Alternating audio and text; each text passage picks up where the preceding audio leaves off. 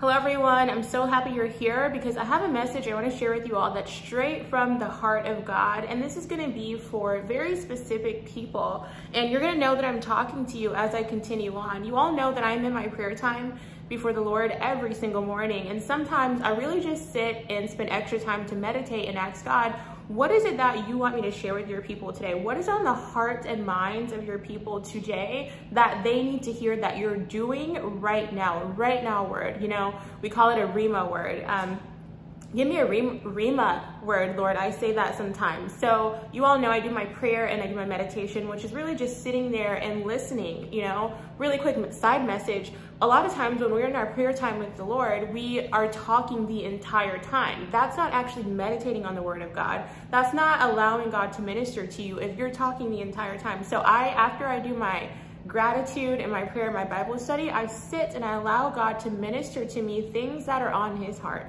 things that he wants to say to me about myself, things that he wants to reveal to me or convict me about something that I've been doing, or things that he wants me to share with you all. And today in my prayer time, God was beginning to reveal to me that a lot of you have been going through a dry season in your walk with the Lord. And what I mean by dry season, you have been going through a season where maybe you felt like your faith has been attacked where you are not necessarily, you know, your faith has been watered down or you have beginning, been beginning to doubt God or some of the things that he said to you. I wrote it down here. I have notes here, so I'm looking down, that's what I'm looking at. Um, maybe um, certain circumstances have happened to wear you down, right? To help you um, or to get you to doubt God. And not only doubt God, but get you to doubt yourself, right? Get you to doubt the abilities that God has given you, the things that God has already placed in you. So doubt God in yourself and to water down your faith. But here's the thing that God is saying. Here's the thing that I heard God say clear as day. He's sending a, uh, a fresh fire. The fire that you once had for God is coming back it's coming back and there's a specific reason for that. And I have scripture to back it up. And there's a reason for it's coming. I'm going to get to that and I'm going to read to you the scriptures and I want you to write it down. But the fire that you used to have for God, is coming back. There's so many of you who were at one point, you were on fire for God, right? You, you know, usually this is the beginning of your walk, right? You were on fire for God. All you were so hungry for God. You were so hungry for God's word. You were hungry to learn more about God, to learn more about his character, to learn more about his people, what it is that he wants you to do. And then somewhere along the way, it just dwindled out.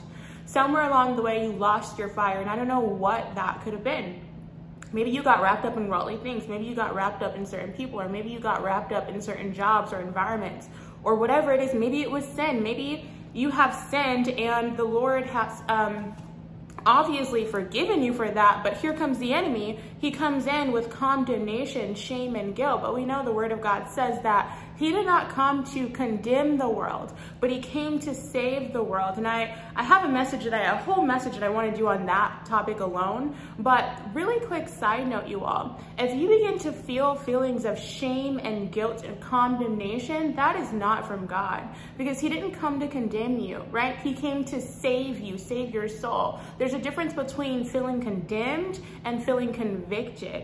If you feel a healthy level of conviction within yourself, then that nine times out of 10 is from the Lord. He wants you to take a look at something in your life, take a look at something you've done, said, and turn away from it, repent from it. But if you begin to feel condemned, like deep uh, condemnation and shame, you have to shut the enemy out because that is not of God. It makes you feel that you are unworthy of God, right?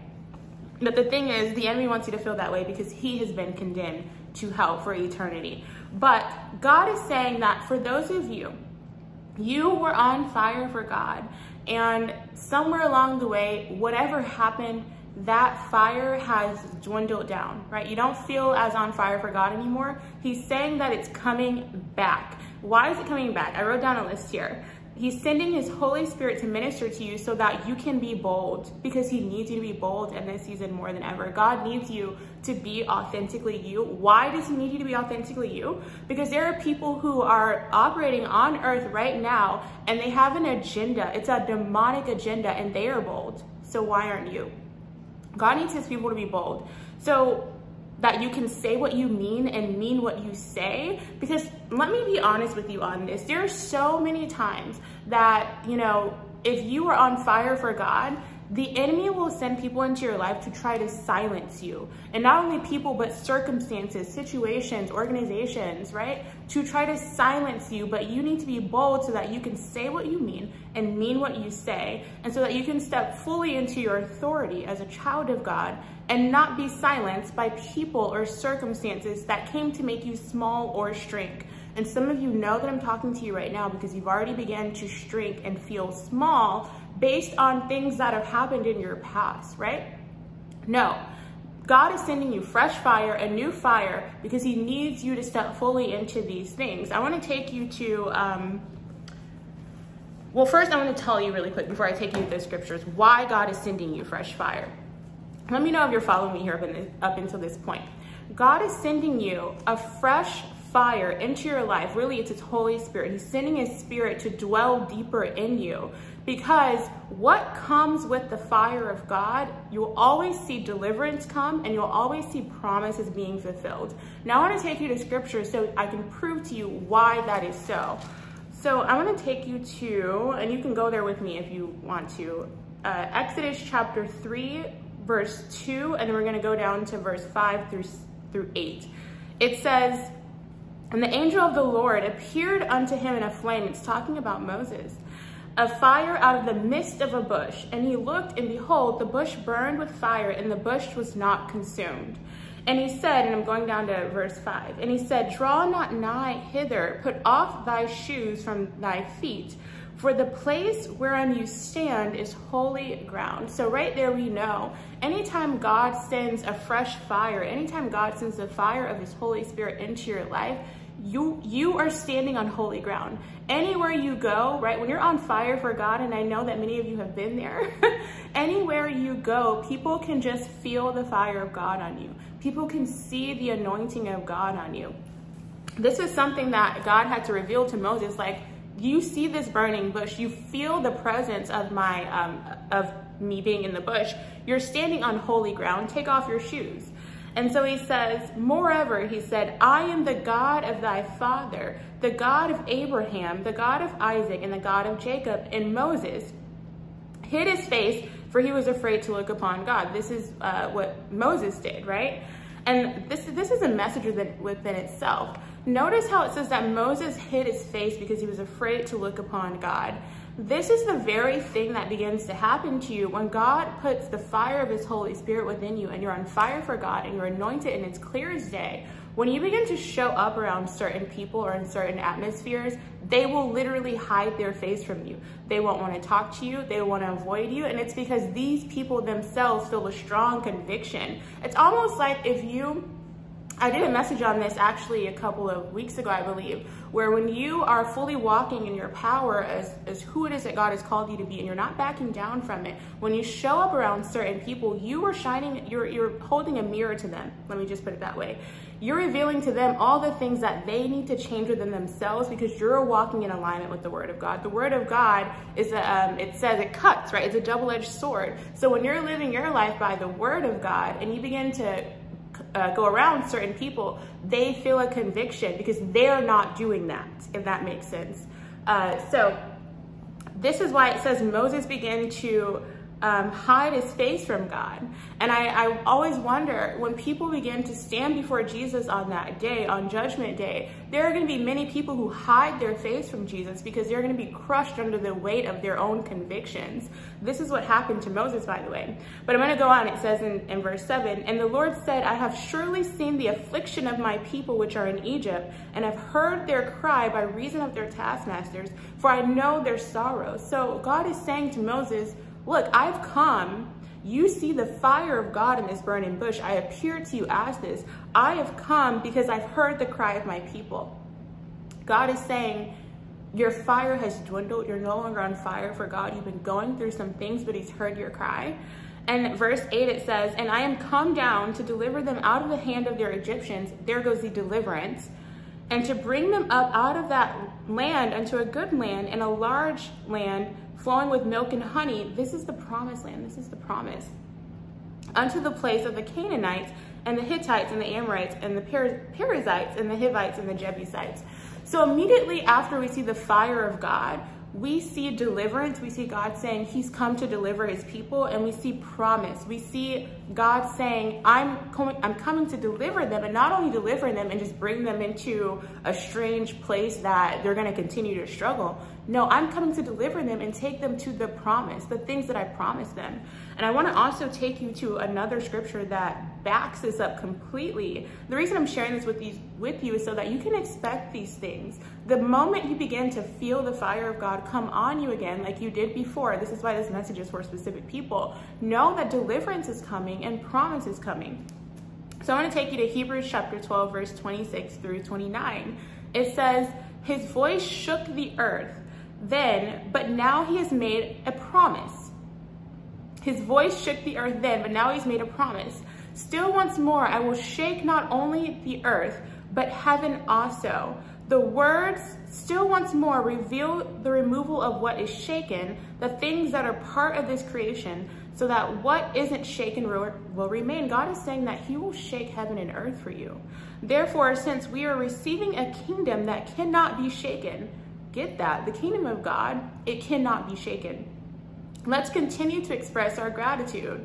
With this gratitude, let's serve in a way that is pleasing to God with respect and awe because our God really is a consuming fire. There it is again. Hebrews chapter 12, verse 26 through 29.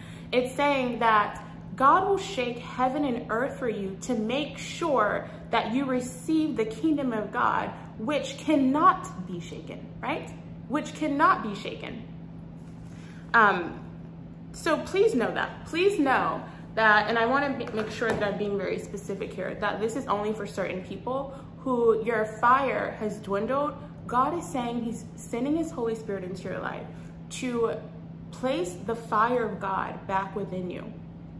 Place the fire of God back within you. Even though the heaven, uh, the kingdom of heaven cannot be shaken, God is saying if it comes down to it, to make sure that you receive the promises that he has for you, he will shake everything. He will.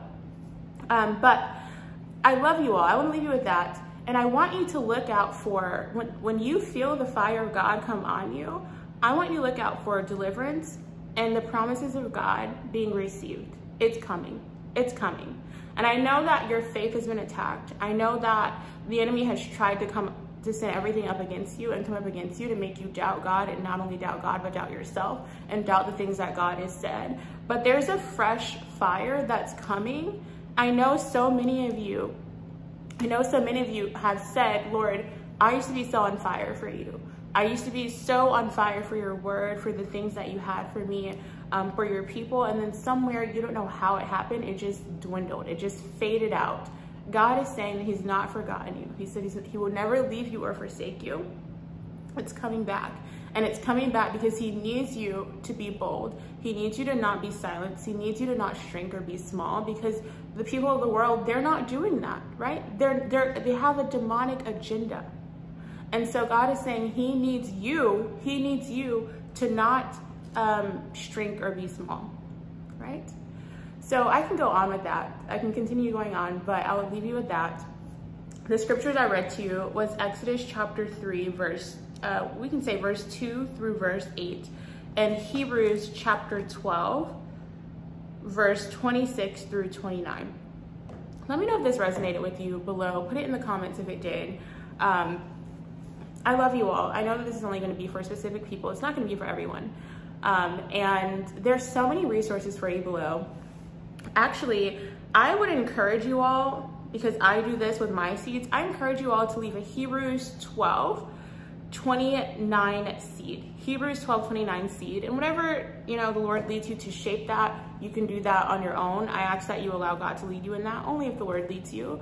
And you all know that, you know, the Promise Land mentorship is below, the Promise Land roadmap. There's so many beautiful testimonies that have came from both of those.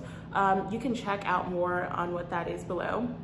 I invite you to share this message and I invite you to subscribe and hit the notification bell. That is for you so that you're not missing out on anything as I continue to upload these messages. Let me know if this resonated with you below. I'll talk with you in the next message.